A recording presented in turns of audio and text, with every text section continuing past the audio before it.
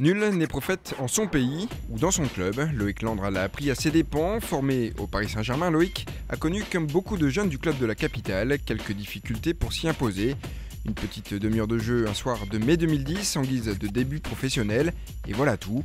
Puis deux préformateurs à Clermont et à Ajaccio, histoire de continuer son apprentissage.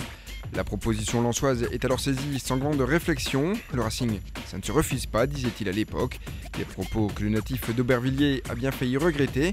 Ses débuts sous le maillot et or sont en effet compliqués, mais le numéro 22 Lançois ne lâche rien. Jusqu'au jour où, replacé en défense centrale, il démontre ses qualités. Puissant, rugueux, difficile à éliminer, il est devenu en quelques mois une pierre angulaire de la formation d'Antoine Camboiré. On atteste ses 12 titularisations lors des 13 derniers matchs du Racing. Plus globalement, son bilan est de 21 matchs joués et un but marqué, mais celui-ci en Coupe de France. Et quel but? Sans doute l'un des plus spectaculaires de la saison.